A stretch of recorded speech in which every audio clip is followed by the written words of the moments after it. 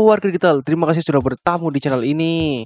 Nah, kali ini saya akan membantu kalian bagaimana cara mendownload WhatsApp di laptop Windows 10 atau di laptop Windows 11. Gimana caranya? Langsung saja ke caranya.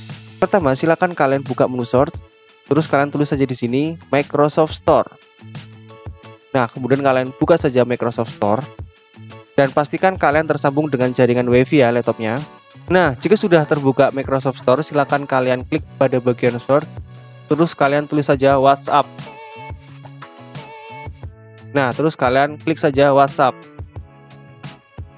Nah, jika muncul seperti ini, kalian langsung pilih Get. Dan tunggu hingga proses download serta instalasi WhatsApp selesai. Nah, jika sudah selesai, kalian bisa langsung membukanya di Microsoft Store atau kalian bisa membukanya di menu search ini ya kalian tulis saja di sini WhatsApp.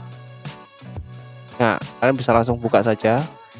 Maka WhatsApp akan terbuka seperti ini. Kemudian kalian bisa get start dan kalian scan barcode ini menggunakan HP kalian dan WhatsApp akan langsung masuk ke laptop Windows 10 atau Windows 11 kalian.